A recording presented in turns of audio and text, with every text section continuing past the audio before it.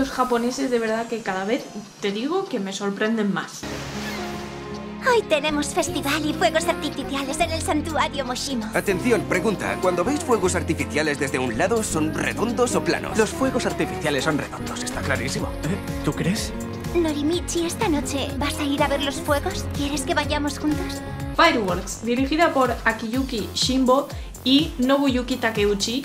Tenemos una nueva película de anime aquí en España y nos la trae el productor de Your Name, esa gran película que arrasó el año pasado por motivos evidentes y que, pues bueno, ha iniciado una pequeña ola de películas similares, románticas, con viajes en el tiempo o con ese tipo de, de detalles fantásticos y con un toque de animación pues un poquito más modernizado introduciendo el 3D y esos efectos que en Your Name nos dejaron a todos, bueno, que se nos fue la cabeza a todos, ¿no? Tenemos entre manos una nueva película, Fireworks, eh, que dura 90 minutos, cosa bastante rara en el cine japonés, eso es muy extraño. El cine de animación japonés, mm, digamos que es un subgénero del cine japonés, y me explico. Para los occidentales, el cine japonés es prácticamente un género diferente.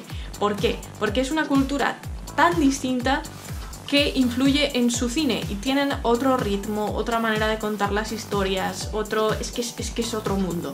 Pero aparte el cine de animación japonés también se puede considerar otro género y muchas veces nos cuesta digerir este cine y por eso se hacen cosas como mm, Ghost in the Shell versión Scarlett Johansson que bueno, no, no está mal pero es que es muy distinto. El lenguaje, su forma de entender el arte, el cine, eh, la manera de expresarse, es que todo es muy diferente. Entonces al enfrentarte a películas como estas, tienes que abrir un poquito la mente y dejarte llevar. ¿Qué pasa? Que en el caso de Fireworks las cosas pues no funcionan muy bien.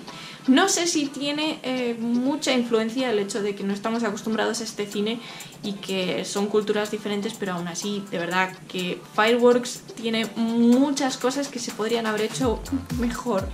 Me explico. Tenemos la historia de amor entre un chico y una chica que encuentran un objeto mm, extrañísimo que resulta facilitar pues, los viajes en el tiempo. ¿De acuerdo? Y es un día de verano que se repite varias veces.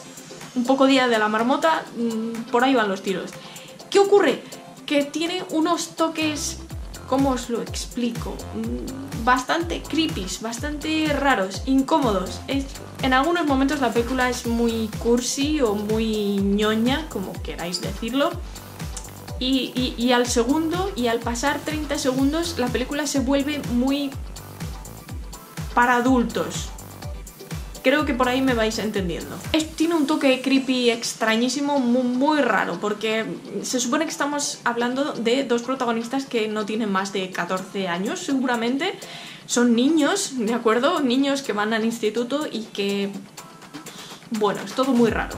Entiendo que hay un público que puede disfrutar con estas películas, pero en sí la película la manera de contarlo es muy extraño, supongo que porque está reducido a 90 minutos y está todo como ahí comprimido como si fuera, no, no lo sé. La animación tiene puntos en los que, bueno, se queda muy por debajo del nivel de Your Name, no tiene nada que ver.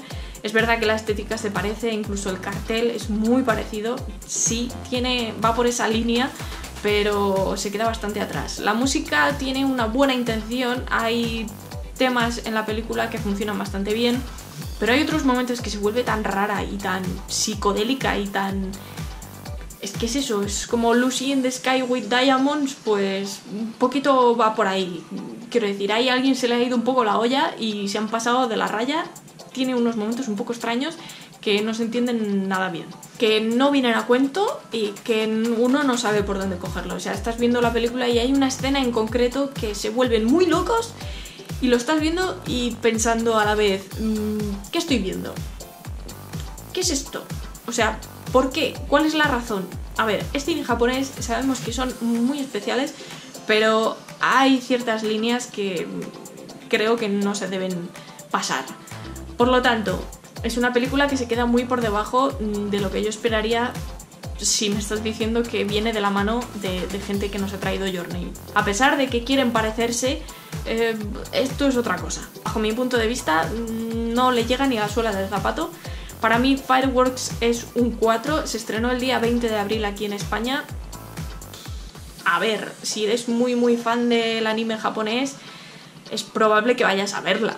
Si lo analizamos como película, tiene muchas cosas que se quedan en el camino y creo que no es una buena película. Como animación puede tener algunas cosas curiosas, algunos planos, no sé, interesantes por su planificación y su...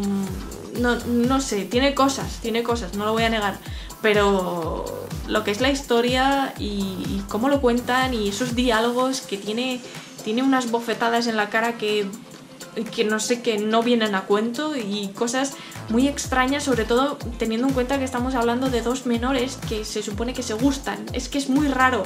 Es. ¿Me entendéis, no? Eh, tiene, tiene unos puntillos de cine para adultos que. Que, que rompen con, con todo el ambiente de la película y no, no cuadra, no cuadra y ya está. Lo dicho, si la habéis visto o la vais a ver o si tenéis curiosidad, lo que sea, contádmelo aquí abajo en los comentarios que os leeré y hablaremos de esta película que da para mucho. Nos vamos a ver dentro de muy poquito. Cuidaos un montón y disfrutad del cine.